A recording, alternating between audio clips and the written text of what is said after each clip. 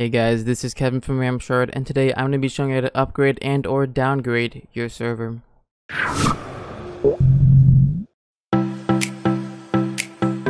Okay, so the first thing you're going to want to do is go ahead and go into your client area. Now once in your client area, you're going to want to go ahead and go into your services, and to get there, there are two ways. You can go from the top drop down box and click on my services, or you can go from the big button in the middle that says services.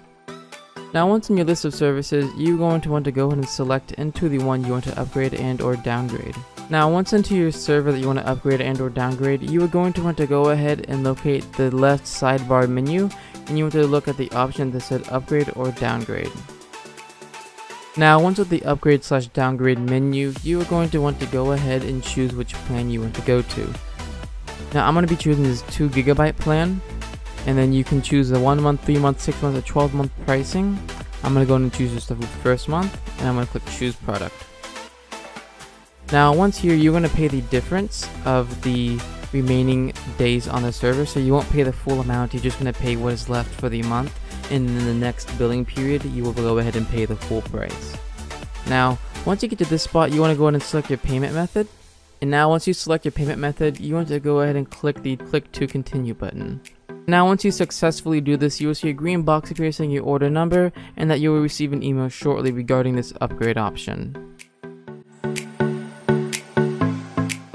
Now I'm going to show you to downgrade your server and this process is fairly similar.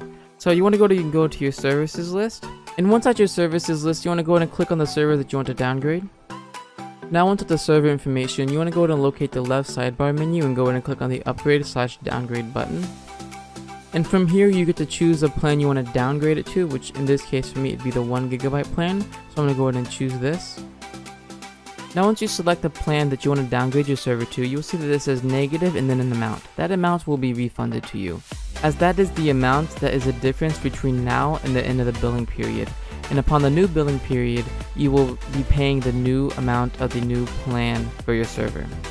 And now, once you did this successfully, you will see an order confirmation here that says you will receive an email shortly along with the order ID. And guys, that is how you upgrade and or downgrade your Minecraft server with us, and I hope this has helped you out. And again, this has been Kevin with RAMShard.